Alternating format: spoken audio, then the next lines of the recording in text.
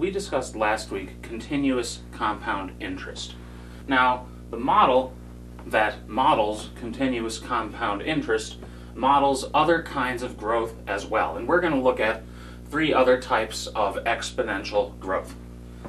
Now, a general equation when a quantity grows at a rate proportional to its size is that p of t, here p is a function which measures you know, a quantity at time t. So p of t equals p of some zero, p of a times zero, a base quantity, times e to the kt. e is the exponential function, k is a constant, um, and we'll see that we can use some information to solve for this constant, and t is time in whatever time units uh, you want. Um, the first model we're going to look at is population. So population grows at a rate proportional to its size. We're going to use this information to find that constant and then use that to answer a couple questions. The population was 2,560 in 1950. Um, I believe this question said, you know, 2,560 million. Um, I'll just leave it 2,560. You know, who needs to throw millions on these things? The population was 2,560 in 1950 and 3,084 in 1960. Use these to estimate the population in 93 and in 1993 and 2020. So the first thing we have to do is find our growth constant, k. And we can use this information to find that. Here, our zero quantity, our base quantity, will be the year 1950. And any time is measured from that base year. So here, um, well, let's say to find k, because that's what we're going to do first, and then we're going to, you know, once we find k, um, well, I, am not sure how it's going to fit, but once we find k, all we have to do is make a couple substitutions for these two. Um, but let's find k. Um, so our base year is 1950. 1960 is a future year. So our time quantity, our time variables aren't going to be 1950 and 1960. We're going to assume our zero year is 1950, and then our next information is given 10 years later. So, um, using that equation over there, our quantity at time 10 is 3040 equals our base quantity 2560 times e to the k and t here is 10 because it's 10 years later. Now we need to solve this for k. Well, how do we do that? Um, you know, divide by the number. So you get 304 over 256, which reduces to what? 152 over 128, that reduces further to 76 over um, 64, which reduces further to 38 over, so this, these both have what, 16 in them? Oh no, they both have 32. So 38 over, uh, I forgot what number. These both have a 32 in them. No, they don't. They both have a 16 in them. So this is 16 times 19. Yeah. And this is 16 times 16. So 19 sixteenths equals e to the 10k. How do we solve this equation? Well, we need to get rid of the exponential. Remember, a logarithm gets rid of an exponential. So we'll take the, in this case, base e logarithm, the natural logarithm of the left side, natural log of 19 sixteenths, equals natural logarithm of the right side. The e goes away. You're left with 10k, solve for k. You get k equals 1 tenth times the natural log of 19 sixteenths. I'm just going to check that that's right. 19 sixteenths. Oh, I guess I just wrote that as, in my notes, I wrote 330, 40 over 25, 60. Um, okay. And uh, this, you know, we could leave it like this. I'm just going to use the decimal for it. As a decimal, this is point zero one seven nine.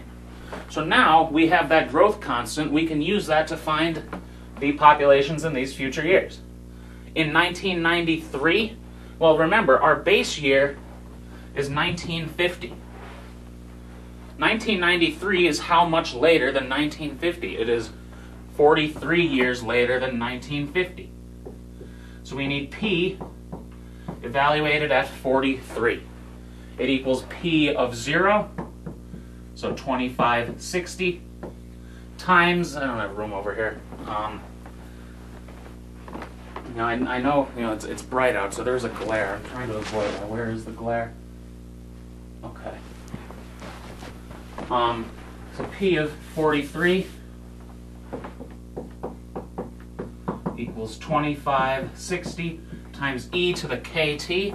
k is, we'll use the decimal, 0.0179 times t, which is 43 because it's 43 years later. And what does this equal? This is approximately equal to 5360. And what about 2020? Well, the only difference is that we're looking at 2020 now. So P of, well, not P of 2020, our base is 1950. 2020 is 70 years later. So P of 70 is 2560 e to the k 0.0179 times our time, which is 70, and this is approximately 8524. So here, we looked at an example of exponential growth. A population will grow um, at a rate proportional to its size, and it can be modeled by that equation. Um, let's look at an example of exponential decay. Exponential decay follows the same formula, except note that k will be negative here. The k value will be negative, that'll indicate a decay. Um, so we're actually going to look at two examples of exponential decay. First, we'll look at half-life. Now, half-life is uh, something in you know chemistry and physics where you have a, a, certain amount of some you know radioactive substance, and the half-life is how long it takes for half of it to decay. So, uh, in this example, the half-life of radium 226 is 1590 years. A sample has mass 100 milligrams. So before even doing these questions, to interpret half-life, well, we can use these numbers to interpret half-life. If we have 100 milligrams and it's a half-life of 1590 years, that means in 1590 years, there are going to be 100 milligrams left. Or, uh, in 1590 years, there are going to be 50 milligrams left. And we're going to, again, before doing any of these, we're going to use that to solve for k. So to find K, we're going to just use the half-life information. So at time zero, we have 100. In 1590 years, we have 50.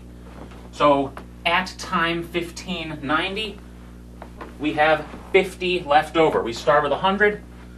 So 100 times e to the k times 1590 we want to solve this for k. Divide by 100, you get a half is e to the 1590k. Solve this, we need to get rid of the e, so natural log of a half is 1590k. Solve for k, you get k is 1 over 1590, natural log of a half. As a decimal, a natural log of a half is also, you know, the negative log 2. As a decimal, do we have? 0, 0, 0, 4, 3, 6. Negative point 0, 0, 0, 4, 3, 6. So we have our constant k, and we can use this to find, for part A, a formula for the mass after t years. So P of T, I'll still use capital P, equals the initial um, amount, which is 100, times what? E to the negative point zero zero zero four three six times T. So part B, find the mass in 1,000 years. Now first note, the mass in 1,000 years is going to be larger than 50. Because it takes 1,590 years to get down to 50. So in 1,000 years, half of it won't have decayed. And we'll check that our answer does give us something larger than 50. Uh, P of 1,000 is what? 100 e to the negative point zero zero zero four three six times a thousand. And what does this equal? I have the decimal written over here somewhere.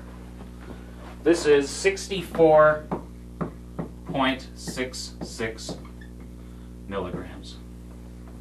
Because we're given uh, a unit in milligrams, which is larger than 50, so that answer does make sense. Part C, after how long will 30 milligrams remain? Well, in part B, the variable we were solving for was this one on the left side. In part C, after how long will 30 milligrams remain? Well, we're already given our left side quantity is 30 years. We're looking here for a time. So the variable we'll solve for is time.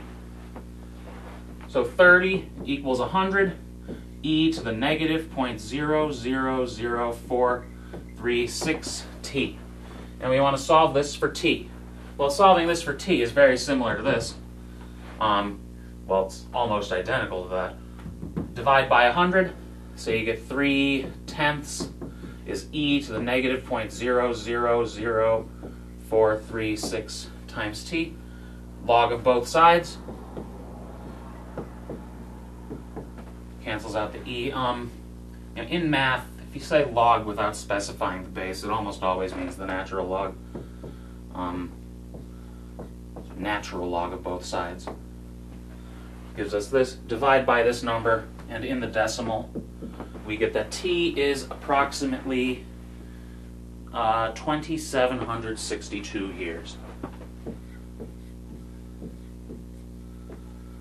And just like in part B, this answer for part C does make sense because you know, in 1590, 50 remains. In 3180 years, 25 milligrams remain. So 35 should be between 1590 years and 3180 years, and uh, we got 2762 years. Uh, let's look at another kind of exponential decay, which is a little more complicated than this one. Next, we'll look at Newton's law of cooling. So here what we're going to do is uh, see how the temperature of a bottle of water will decrease uh, when you put it in a refrigerator. And its um, temperature decays exponentially, similarly to uh, how a radioactive substance decays uh, exponentially using uh, the half-life. Well, given by the half-life, I should say. Um, so here we're going to have the same equation. K will be negative. K is a constant, but what's different from what we have been doing, P is going to measure the temperature above the ambient temperature. And here we're going to always just say we're putting it in a fridge. So P gives the temperature above fridge temperature. And we're always going to keep that in mind. Um, example, a bottle of water 72 degrees is placed in a refrigerator where the temperature is 44 degrees. So right here, we always keep this 44 in mind. Um, everything is going to be measured above that 44. In 30 minutes, the water is 61 degrees. Well, with that information, we can find an equation. We, well, we can find the constant K, so then we can find the equation which models the temperature of this bottle of water. So to find K, what are we going to do? Well, initial temperature. What is the initial temperature? Well, the initial temperature 72 degrees. But remember, we're looking at temperatures as they relate to 44 degrees. 72 is 28 more than 44. So on the right side of this equation, the initial temperature is 28 above fridge temperature. At 44 degrees, I think is considered way too high for a fridge, but this was in a math textbook, so. Well, is in a math textbook. Uh, I think fridges are supposed to be like 38, maybe, something like that. Um, where the temperature is 44, 72 is 28 above 44. So e to the k times t in 30 minutes, so e to the k times 30, in 30 minutes the water is 61 degrees. So at 30 minutes, the water is 61 degrees. But we're not going to put 61 over here because our temperatures are all considered in relation to 44. 61 is 17 more than 44. So we have this equation which we want to solve for k. Uh, divide by 28. Log of both sides.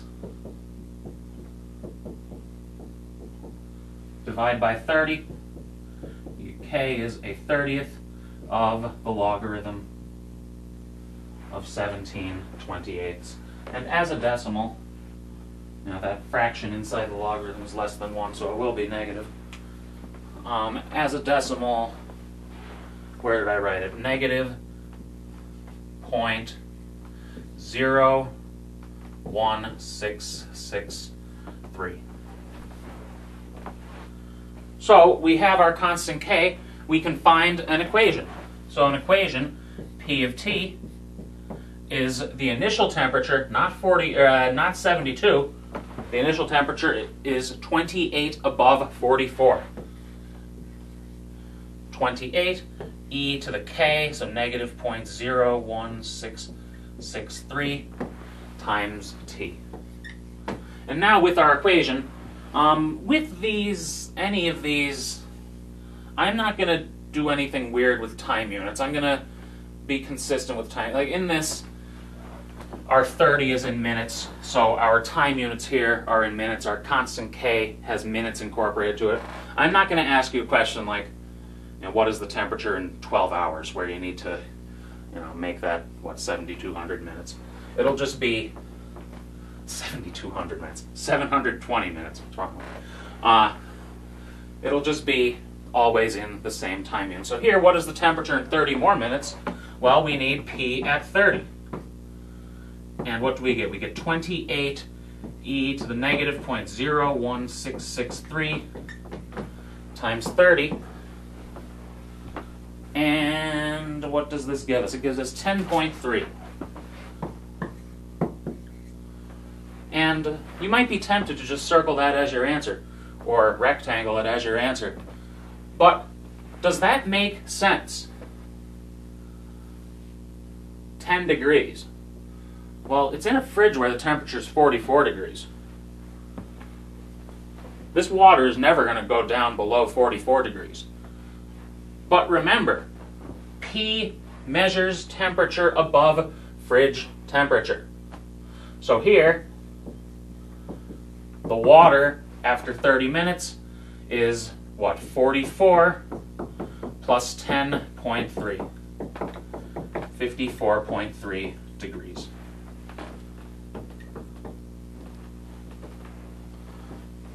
And what about part B? How long does it take to get to 50 degrees? Well, in part A, our variable was P of t.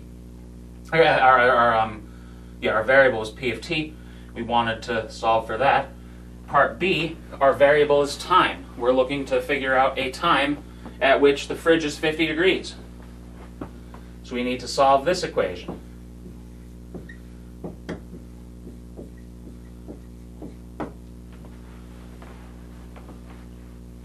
Solve this for t, divide by 28, what do you get? 3 fourteenths. Divide by 28, you get 3 fourteenths is e to this number. uh, logarithm of both sides. Gets rid of the e, divide by that, and you get t equals uh, is approximately 92.6 minutes.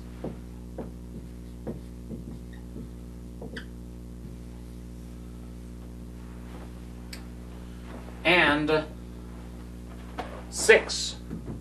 Where's 6 from? Well, 50 degrees is 6 above ambient fridge temperature, 44. Um, so always keep that in mind. Maybe I'll put a second star on this. Star. Uh, always keep that in mind for uh, one of these. Um, so do practice these three types of exponential growth. Um, you know, solving these equations, you definitely do get used to when you do them because you know you'll notice in all of the ones uh, that we did, it did follow the same uh, general steps. Divide, logarithm to get rid of e, divide.